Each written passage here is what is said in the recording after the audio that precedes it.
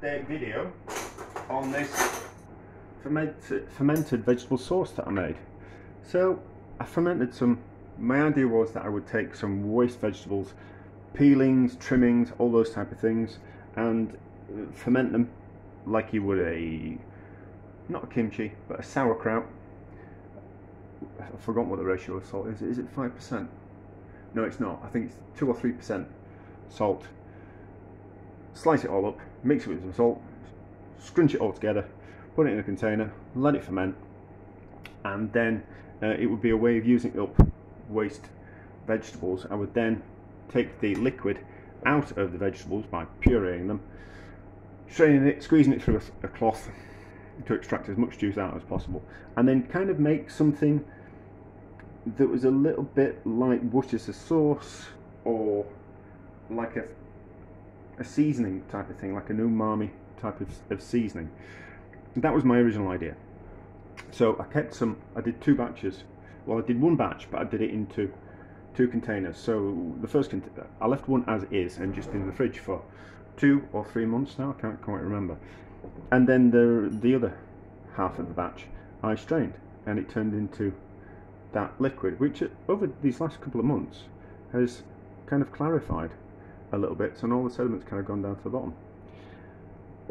Didn't really know what I was going to do with it, but I was just curious, and if I'm curious about something, I always kind of want to have a go, mm, even through things not working or not turning out how you want. There's always a learning experience. You know, I mean, we learn more through failure than we do through success. And we can also take the knowledge that we've learnt and apply it to other things as well. So the more we understand about something, the more we can kind of expand on it. So that's kind of my my idea with everything. If it, if I think if I want to have a go at something, I think well just have a go, and let's see what kind of happens. Something interesting might happen. Something interesting might not happen. Doesn't really matter. So I did.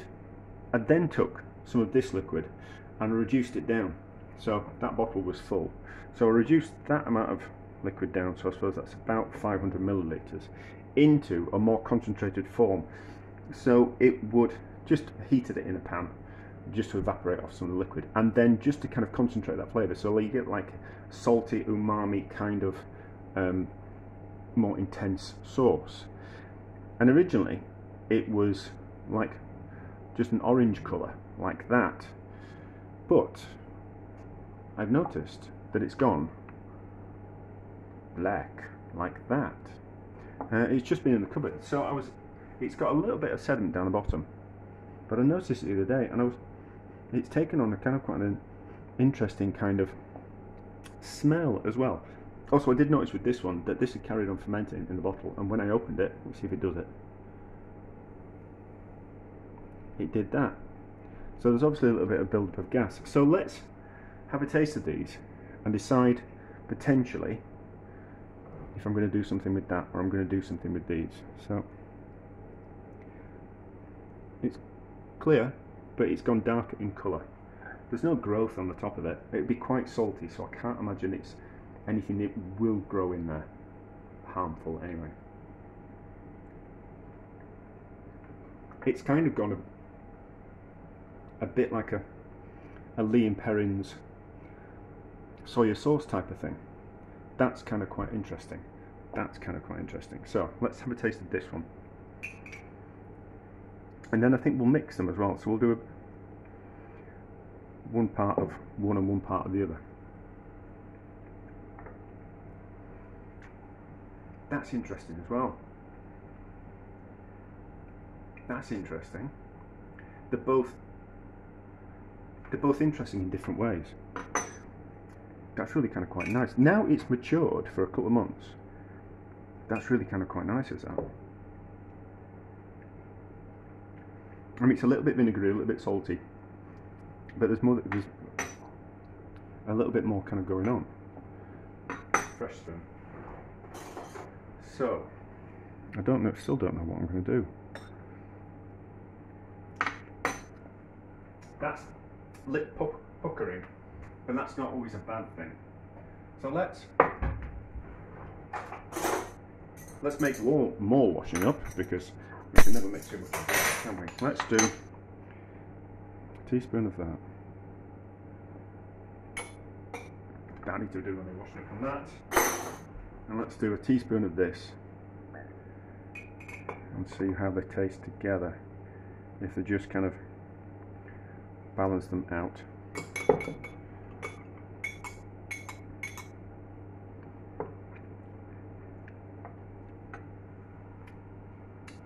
Do you know that's really interesting, is that? That's really interesting. Considering that's just vegetable waste with a bit of chili in and, a, and, a, and I put some ginger in as well, some ginger peelings. There's the full video of, of it, kind of, of what it is. But that's really interesting. So, I am going to... Ah, oh, no, we, we need to taste that. So, let's have a taste of this and see what we think of this. Might taste the vegetables as well. Alright, so that's gone like that. It's really kind of quite nice, is that? How do the vegetables taste? This has been in the fridge.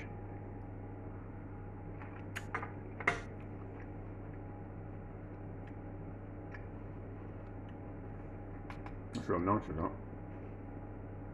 that? As fermented vegetables go, that's really kind of quite nice, isn't it? So,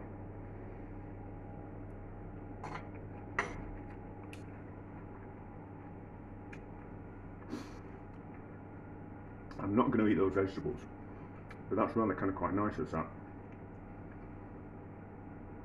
That's rather quite nice, is that? Certainly needs that two or three months in, in, in a cool place just to kind of improve its flavour no end. I mean, it was nice, but that's even nicer. So I think what I'm going to do is I'm, I'm not going to eat, there's no way I'm going to eat those vegetables. For, you know, like, it, it's just not my type. It, I eat those type of things, but I'm, I'm not, I'm not going to eat it. But let's turn that into that. So we will puree that down with the hand blender and then we'll strain it through a cloth, collect the liquid and put the liquid in a bottle and then kind of decide what we're going to do. But those, you know, those two are really kind of quite interesting. And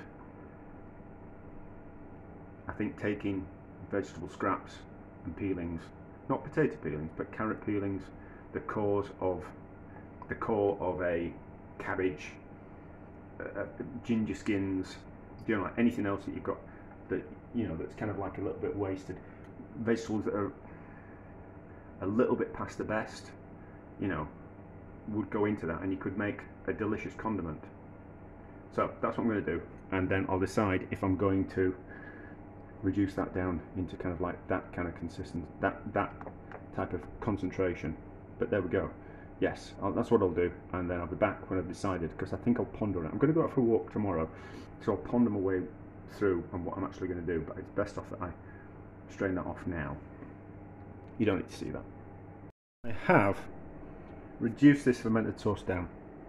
So it was 750 milliliters and I've reduced it down to about 250 so that I've reduced it down to a third of its original volume. Just gently in a pan. Not a vigorous boil, just a steady simmer because we didn't want, I didn't want to burn the, sides of the pan and kind of create a, uh, a caramelization which would affect the flavour. So this is a reduced one and that's the one that I didn't reduce. So let's give this a taste. Now it hasn't, we've got a bit of a layer of sediment at the bottom. It's not darkened like that one yet, but let's just give it a taste.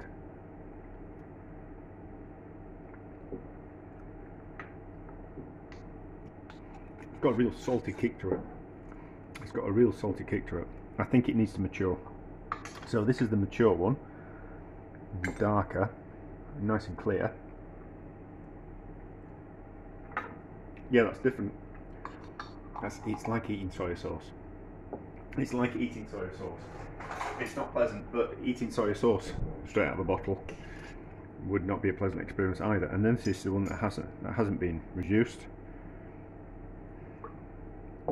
This is just the raw sauce. That's nice is that. That's nice is that. So,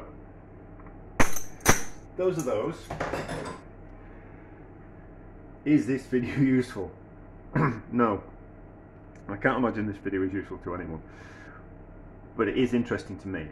And I'm going to take some of that matured sauce. I'm going to go and take it to my friend the cheesemonger because he's got quite a good palate and I think he'll be able to give me an honest opinion. I think my palate is uh, how do I um, how do I put this? Like the things I I've got quite a high tolerance for salt in things so if something's overly salty. I, I yeah, I'm, I'm fine with with tasting something that's overly salty. Some people are a lot more sensitive uh, to salt and those type of things so I need I need a second opinion. I think that's kind of quite nice but I just need to know if I'm if I'm on the right track. And just out of curiosity so we'll kind of see what he says. So I think this this probably will be a ongoing video. So we'll kind of every few months kind of do a taste of it and see how it's maturing. I don't I don't think it's any use to me whatsoever it's just an out of curiosity. And I'm, I am now reminded of the story of Lea and Perrins Worcestershire sauce. That it was originally a chemist who was faffing around with things. I've forgotten what he was trying to make, but he just fermented fish uh, innards, like I've forgotten what it is. Is it anchovies or mackerel? Just fermented them, and it tasted disgusting. And he just left it in a barrel um, and then came back to it six six months later, and it was delicious. So I think it's that's kind of my, my, feeling about it. We'll drop in now and again, and we'll kind of see how it's maturing and how it tastes, and think about maybe kind of what kind of use. Of it. I've got a book on what is it, cabbage and cabbage and king, kimchi book, and it might have something already in this, taking the juice from the fermented vegetables and turning it into a sauce. It's probably I've probably got the idea from somewhere. There isn't. I, I don't. I often find that I, I, do something and then I think, oh yeah, of course that was I got that idea from from there. But anyway, so quite a success really.